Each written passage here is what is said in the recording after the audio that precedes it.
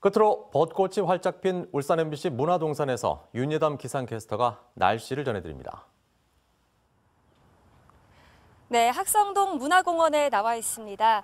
제 뒤로 피어 있는 이 솜사탕 같은 벚꽃들이 보이시나요? 지금 제가 나와 있는 이 MBC 문화동산에는 싱그러운 벚꽃들이 가득합니다. 요즘 이렇게 봄 기운이 가득하면서 야외로 나오는 시민들도 늘어나고 있는데요. 벚꽃을 눈에 담는 것도 좋지만 사회적 거리두기가 정말 중요합니다. 아무리 야외라곤 하더라도 사람들이 많은 곳은 조금 피해 주시는 게 좋겠고요. 타인과의 거리를 2m 이상 유지 해야 한다는 점도 기억하시기 바랍니다. 오늘도 완연한 봄 날씨가 이어지겠습니다. 현재 울산의 기온 5도, 한낮 기온 17도까지 오르면서 포근하겠는데요.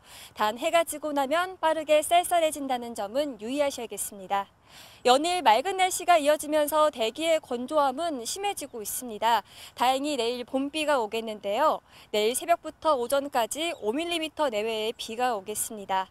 단 그 양이 적어 건조함을 해소하기에는 부족하겠습니다. 이번 주 대체로 기온은 상승세를 보이겠고요. 내일 새벽부터는 비가 조금 오겠습니다. 지금까지 MBC 문화동산에서 날씨 전해드렸습니다.